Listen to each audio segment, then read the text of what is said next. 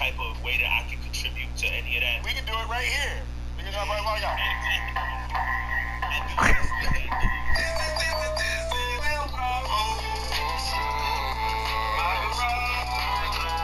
This guy. Yo, this nigga got 8 million subscribers on YouTube. That's kinda crazy.